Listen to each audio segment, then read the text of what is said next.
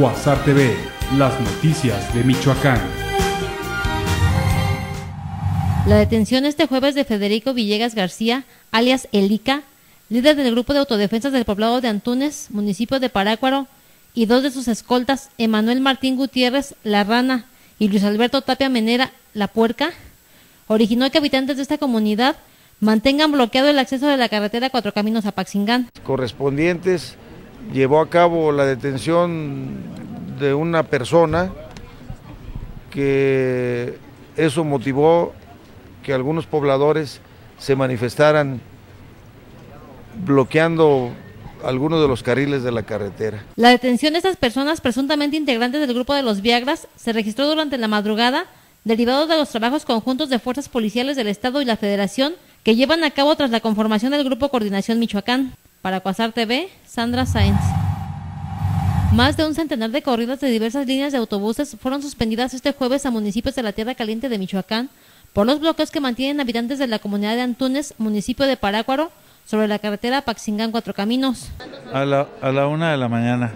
Pues han de ser unas 100 o más este, diarias, ¿sí? Porque tenemos cada hora Paxingán, este, otras que van, esas mismas se alargan hacia Cualcomán, otras se quedan en Tepalcatepec.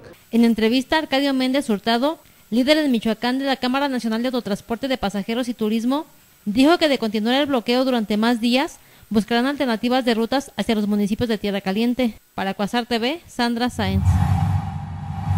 Con 105 municipios suscritos al convenio, Michoacán se encuentra a la cabeza a nivel nacional en la conformación del mando unificado, señaló Carlos Hugo Castellanos Becerra, coordinador del órgano implementador del Plan Estratégico de Transición en materia de seguridad pública en el Estado. Eh, Michoacán somos uno de los cuatro estados prioritarios con los que vamos a implementar y con los que vamos a arrancar. De, nos mencionaba el secretario ejecutivo que somos los más avanzados, que traemos un diagnóstico mucho más avanzado respecto a las cuatro vertientes que vienen siendo recursos humanos, recursos materiales, servicios y financieros.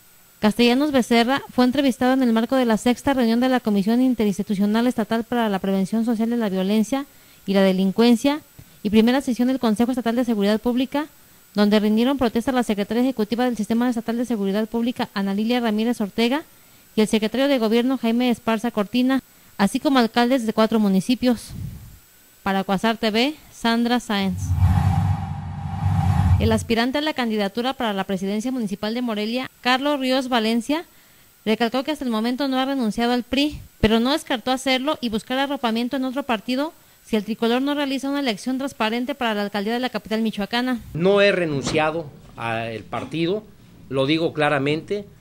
Eh, ustedes pueden observarlo en el partido, no he hecho ningún documento que permita observar una situación así. Pero sí quiero dejar a salvo mis derechos políticos partidistas, mis obligaciones mismas, que si no lo logramos, en su momento tomar las decisiones pertinentes que pudiera hacer.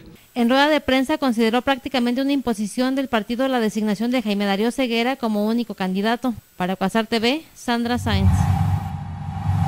Monarcas Morelia no ha podido ganar en el torneo de liga y se mantiene en los últimos lugares de la tabla. Sin embargo, su estratega Alfredo Tena reconoció que es un proceso que se está trabajando para mejorar las condiciones del equipo.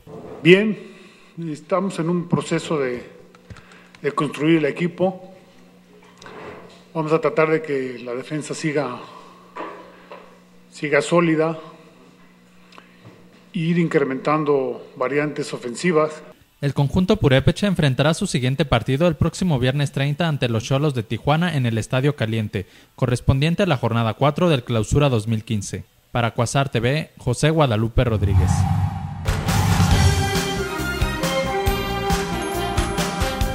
Cuasar TV, las noticias de Michoacán.